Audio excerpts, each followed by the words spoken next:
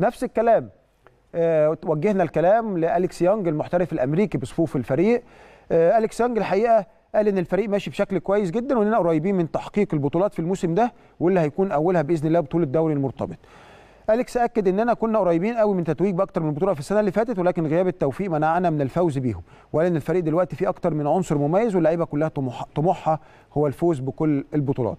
ووعد يانج جماهير الأهلي إنه هيبذل كل جهد ويقدم أحسن اللي عنده طبعا عشان نحصل على البطولات القادمة. وانه وانه فخور جدا بارتداء قميص النادي الأهلي. والحقيقة الحوار اللي كنا عملناه معاه كمان قبل الدوري قبل بطولة الكاس السنة اللي فاتت أكد نفس الكلام. وانه فخور جدا بارتداء النادي الأهلي. وخليني أقول لكم إن أليكس يانج من أحسن اللعيبة الأجانب اللي جم مصر.